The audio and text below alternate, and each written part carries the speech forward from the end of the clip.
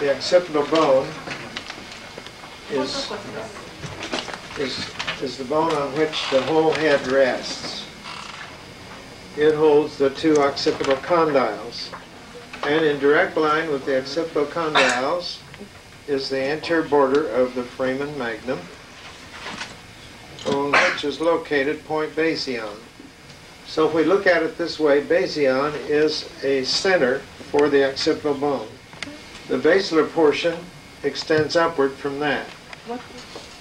If you notice, this is a heavy bone, and it's has cancellous bone in the inside with cortical bone on the outside. Here's the occipital condyle. Now, this is right here where the bone ends. In a young child, there's a sphenooccipital synchondrosis right here. Now this is separated then by the temporal bone right here. I'm sorry, I cannot hear you. Temporal bone comes in and separates from the basilar portion of the occipital right here. This suture then runs backward. And all of this then is a suture with the temporal bone, which is very heavily stressed right through here. Oh. Now up here in this part of the bone is the parietal bone. Okay, got it? So this is the parietal suture. Looking from the outside, it is very heavily serrated. Now if you notice, immediately lateral to the occipital bone is the temporal bone here with the mastoid. And if you notice, this goes right down and separates at the point of entrance of the jugular foramen. Uh, jugular foramen. right here. Okay. Now, if we go back at the back part of this bone, the point at opposite to Basion is called opisthion. But I describe this as holding up the the brain because the cerebellum sit right here. And the, uh, the cerebrum sits up here. Now, if you notice, there is a cross here on the inside. There is what thing? A cross. Here and here. And this is braced on the outside. Down on this part of the bone, the lower part, is attached all the muscles of the neck that hold the head up the trapezius up through here, and all the neck muscles in here, the splenius capitis, so forth. Now, the weight of the head is mostly up front. So these muscles then are pulling down against the occipital condyle. So it's said that the head is cantilevered. Cantilever means that it's, it's it's locked in the back and suspended in the front. Now, I want to discuss why we have this bone here, architecture in general. I have a given amount of material. And how am I going to modify it to get the maximum strength with the smallest amount of material? So we're going to talk about the various options that we would have, not only in nature, but in the physical world, of mechanical engineering. First of all, what is that shape? まず It's a cup.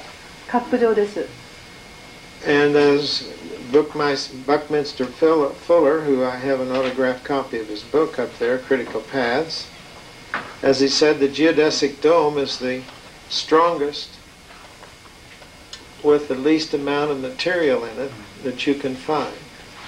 で、爆面したフラー。With the triangle. 非常に伝わってこれ Here's a triangle here. Here's a triangle here. See going in?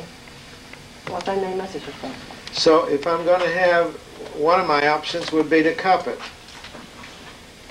Now the other one is to rib it. Another one is to make it double. あるいは ダブルの構造にします and put little braces in between. Yeah, Those I- little trabeculi are called little bridges. で間に Then I can reinforce it at the places where I need to bear the greatest strength. 特に一番 So here you see the example of a lot of things you can do. いろんなことができるという例です I can make an I-beam, アイビームにして a cross beam, I 字型にしてもいいし a 横 T に beam, 柱を渡してもいいし T, Or I can- T の字型にしてもいいし make a column out of it. あるいは Or I make a hollow tube out of it, which Aruba. permits it to bend. そう So I 旗 have all の of these options. I can make ポー an ル L もそうなんで beam, すけども L の字型にしてもいいし all of these things then that I can do to give it strength without increasing the amount of material that's in it. 動かして直 I そう have と the したわけ skull です、 here I'll try to find えー このスカルですが、 with occipitalization of the atlas. え About 3% of the population has an injury うん、あの大体まあ or 人口 some の deformity, just Some- like that last skull I showed you had some deformity of the uh, occipital condyle on one 後 side. ろに So 出 there's ると a い lot うわ of けです、 lot going on in the neck. えーですから、まあ、あの首ご覧ください How these stresses then come out, and Stress just what? as the uh, the stresses were divided in the axis, えーでこの Now, お軸椎のところ it で sends ス up ト a レスが2つに分かれてちょうどフォークのように And 二分して it curves. 走ってそして曲がって so that in this plane of space, でこういう面で見たらば this is actually holding up the two temporal lobes of the brain. Now, when you trace and you trace the sphenoid, you'll see a curve that you see coming up to the sun. That curve is the great wing of the sphenoid right here. Now, if we just look at this bone じゃあこれだけ取り出してみます。後ろから。And from side to side, If you notice, the foramen rotundum is almost exactly in the center of the bone. 声円弧です。there's one coming on either side. and one over here. Turn it from the back forward. you can still see the two foramen rotundum like you see here, right through these two holes. And that's what you see in a frontal X-ray. You'll see the superior orbital fissure. You'll see those two in an X-ray. This, now, as the forces of support come up through here in the young patient the newborn, there is a synchondrosis here of cartilage. What is the function of cartilage? A shock absorber. And it's a place that can grow under pressure. But cartilage can grow under pressure due to the fact that it has hydraulic like action as the lacunae expand in, internally. Now there's also a a synchondrosis between the two halves of the occipital condyle early. えー、See up on television there? See it up there. Here is the synchondrosis in about age two. えー、2歳ぐらいだと思いますが、あのさっきから言ってる軟骨 That's wide open at birth, just the same as this one's wide open at birth. See, that's right in the middle of the occipital condyle.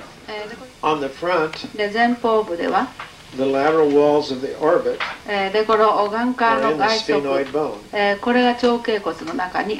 on the sides 横。the temporal fossa. Underneath, 側頭下があります。その下。the infratemporal fossa. On the inside 内側。the temporal lobe of the brain. On the oh, top the anterior lobe of the brain. Now coming on either side is the optic chiasma. Now, right here at the lower border of the superior orbital fissure, right below that, then, is foramen rotundum.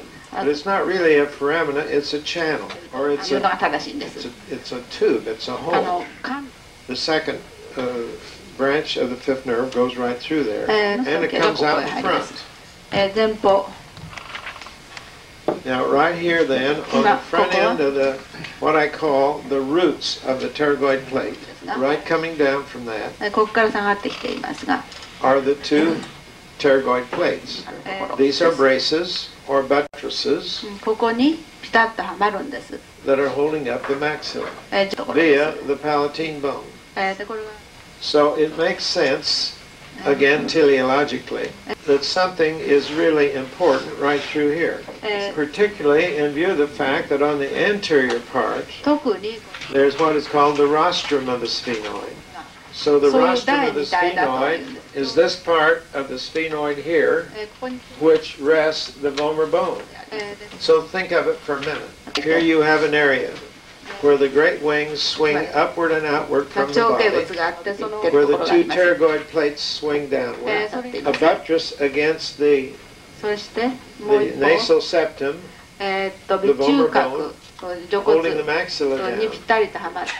You have a blood supply coming in via the internal maxillary artery, uh, going up into the orbit, down into the maxilla, and down into the. You have the maxillary nerve, which uh, in general goes to the nasal capsule. Uh, so V1, or the first division, goes to the orbits. V2 goes to the nasal capsule. V3 goes to the oral. So you can think of it in those three functions. So the center one of foramen rotundum is right in the middle of all of them. So it's just not by accident that we find that that is the center of a polar phenomenon. That's very interesting how I started using PT point. Actually, I started using it in the frontal. I showed you how you could see it in the in the X-ray. By holding it up here, you can see through the tube uh, foramen rotundum, so I could see that in the frontal head film. And so we were, we, we then one day I said, well, I wonder if I can see it on the side. Eh, so I put a piece of lead in a skull in the foramen rotunda. Eh, everything clicked. Eh, then we came through with our computer composites. We tried superimposing them in many ways. And finally when I started superimposing on the the foramen rotundum. everything was lined up. え、すべてだった。So, like it or not, there it was. If you're going to use a polar phenomenon, then the only place to go was not at Sella, but down at PT point. Lay this, this part right here, lay this on the apex of the maxilla. Right there is the pterygoid. Fissure. Now I see something stopping. Can you? ここで止まっているんですが。そうすると、この、これが PT 点になります。こうなります。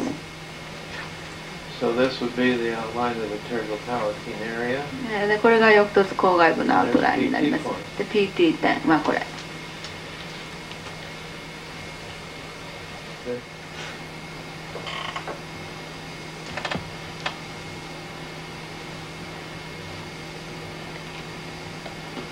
These are two occipital condyles. see? This is basion. É uma basio. All right, this is the roof of the pharynx. É.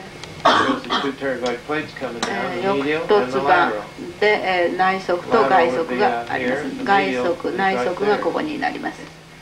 Right there's PT point. PT 点がここにあります。Now probably right here. ここには。Is, is the pterygoid canal. えー、これがあの翼突管が。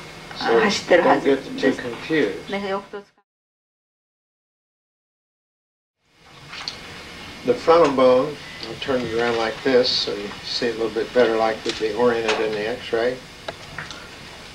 On either side of the, of the frontal bone there's a platform. It's triangular in shape. 三角形をしています。 And that is what receives the frontal, the, the sphenoid bone. で長径骨をここで受けているわけです。この台 The sphenoid holds up the frontal. 長径骨が前頭骨を支持しています。 So if I can balance that.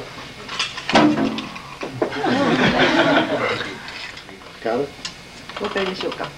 Take a photograph.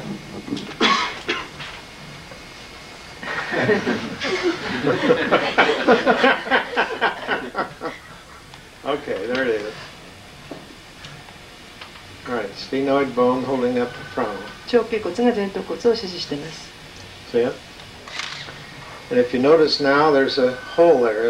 穴が開いてるの分かりになると思います。死骨です。死骨誰,誰かに当てましたか？の。どなたかボランティアの方、明日死骨やりたいっていう方いらっしゃいます。Okay. Okay. You give the ethmoid. で支骨や But it's not carrying much stress, is it? でもそんなにストレスがかかってはいません Most of the support in the cranium then, it comes from the sphenoid bone.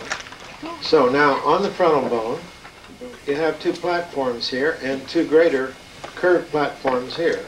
These actually form the roofs of the orbit. これがちょうど眼下の上の部分に当たるわけです And if you look in uh, some of these open skulls, you see that there's a little ridge that comes right along 割ったものを見ると on the inside of the skull 内面にこうリチがずっとここに走ってます割とスムースな感じのとこなんです上の部分と呼んでます Then up in here is superior orbitalis. で、えーこれがスーペリア This オー is ビ the タリ roof of the orbit. でこれが眼下の上の部分です And right here then is the nasal でこれが Neighborhood? Orcatali would be down here. Because, now, because the mistake they make is selecting a crest bone that comes along and they think that it is the the ethmoid bone. The ethmoid bone starts way down here. And what they're cresting is the crest, which is on the middle of the orbit, the medial side of the orbit. Now, a lot of times when people trace, this is that crest that I described. to 今 you. 言ってたそのプレスと骨量のところ So こ they'll こを pick トレー that シングします And they'll pick up these sinuses in here. でその上顎度をここの Then と they ころ come に right down in here, and right there is a little hole, and it's called foramen cecum. これ And they come, oh, then they slip down here and see this heavy crested bone here, でここ and ず this っと crested トレ bone ーシ right ングし here. ていってここにこの骨の塊の骨量があります And without knowing the anatomy in detail, they say, well, this is the ethmoid で bone. 骨のか骨の解剖をよく知らないとこれが支骨だと思ってしまうわけです But the ethmoid is way で down も here. 本当は支骨はこっちです This is a cribiform plate way これ down が支 there. 骨盤になってしまい Now, ます how do we use the frontal bone then?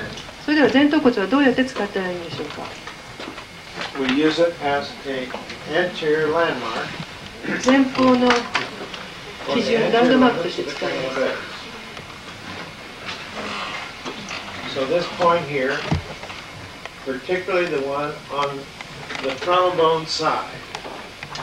特に前頭骨のところなんですけども、場合によっては縫合が走ってます。でどっちかを、この2点あるとど,っちか使う、どっちにしようかと思ったときには、必ず上の方を使ってください。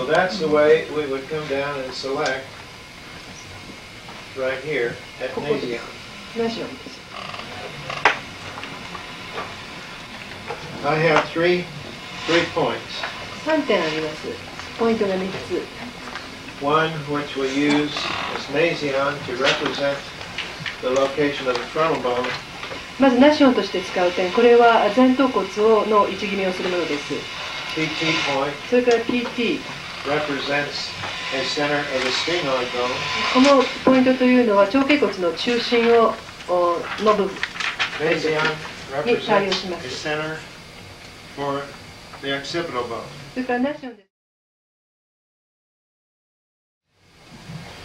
And I take a skull で、頭蓋骨持ってきて、歯を全部取り付して、こういうふうに組み合わせます。で、切ってみます。これはバシオン、バシオンのところで切ったものです。顔と.頭蓋に分けました So I've literally cut the face off, 顔 and this is a pyramid. And this is the base of the pyramid. でこれがピラミッドの基底部 One, ベースで two, す three, four corners. コーナーが4つあります One, two, three, four, with a little brace out here on the side. 4箇所コーナーがあって横に少しブレースの部分が出て So ます pass that around, and you'll get an appreciation これで見てくだ of the さい nasion 回して nasion plane. ラションな There し again, こうです this is also made like a cone. これは円 Instead, NC. if you want to look at it instead of a pyramid, then think of it as a cone. 円錐と考えてもいいと思います Now, if I do that then, and I cut across で this cone at an angle, これを I have a truncation of the cone. そうするとこの円錐 if I cut that 短 cone exactly horizontal to its base, I get a circle. But if I cut at an angle, I get an ellipse. So this cone truncated at an angle is the truncation of a cone which gives me the arch form.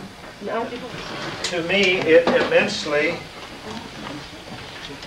it immensely reduced the complication in cranial base growth. で Untreated. まだ治療していない患者です And I can set this patient on here at PT point. Repeat with pterygoid vertical you said?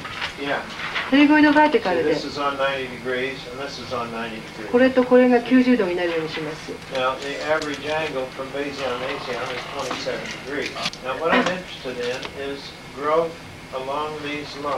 この線に沿った成長が関心があるわけです。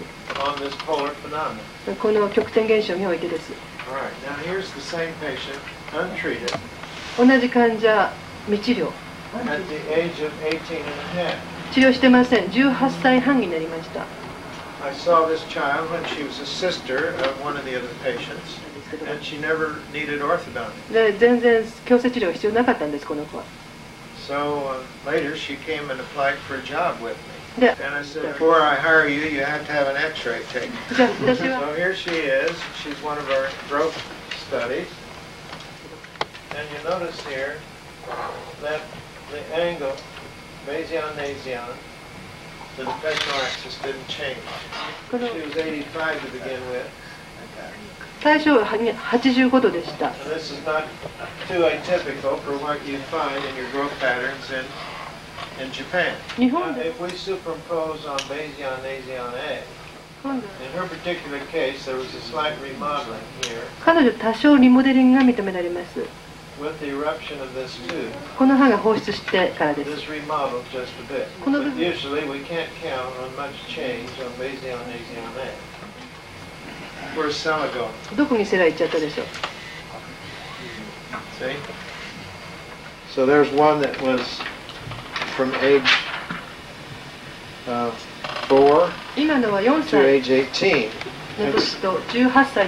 That's over over 14 year period. But very simply, here is the behavior of Sella and the reason that we don't use it, and this is the result of composites that we've put together. So let's see if we can simplify now this whole business of growth of the calvarium. From CC to nasion, it grows 0.8 millimeters a year. 年間でコンマ8ミリ成長します。in our population. Now, I don't これはア know. メリカ人のことです Okay. Now, on our original work, we found that this was growing 0.5 a year. But now looking at much larger samples and over longer periods of time, we think that this is growing 0.6 a year. えー、 So very simply, if you have a center point here, ここがセンターだとす either ると from the, the Frankfurt plane at PTV or CC point, either one, でフランクフ you're ルト going ヘ to ル have メから essentially then 0.8 millimeters of growth or 8 millimeters in 10 years. And this is carrying the maxilla with it. これその時に And this, 上顎も一緒についていきます this is growing downward and backward at a rate of 6 tenths of a millimeter a year. That the cranial base we use includes this area here for the joint. 我々が使っている動画テープというのはこの関節の部分も含んでいます And the glenoid fossa is carried by the growth of the temporal bone. So from the pterygoid vertical, Orion is growing backward 5 tenths of a millimeter a year, carrying with か it ら the occiput of the, the mandibular condyle. So what is the ratio of 5 to 8? 1 to 1.6.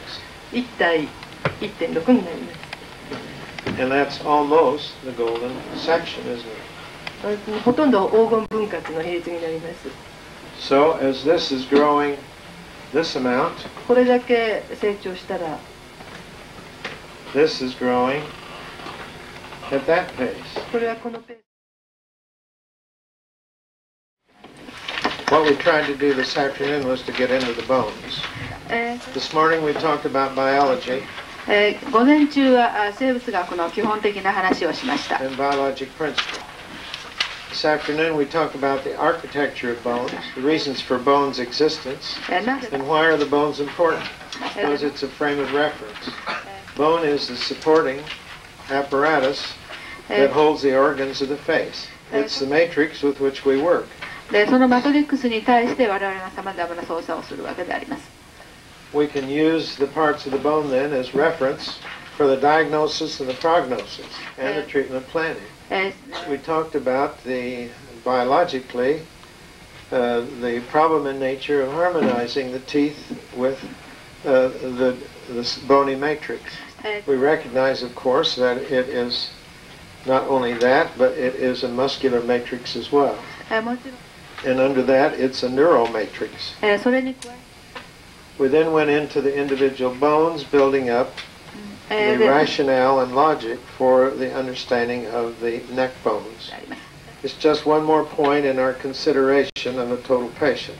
In the average patient, they may not be much influence, but in aging, injury, and disease states, we have to consider the head posture and the influences of all the factors that, that, that happen to be operative. Okay, now with that as a base, we started out talking about the vertebra and the mid-sagittal calvaria. And I think we build up the idea then that the, the face really fits on that plane from basion to nasion. In fact, we call it the basocranial axis. And that being the case, we can use it as a frame of reference for the growth and development of the face.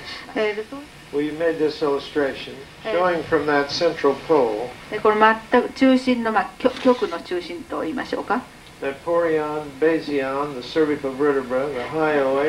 ポリオン、ベジオン、それから頸椎、それから舌骨、the orbit, えー、か眼下、ナシオン、え、それから後鼻曲、え、それから音外。tends to behave very constantly. So this is the uh, the way that we try to make it simpler and practical for our bioprogressive clinical people.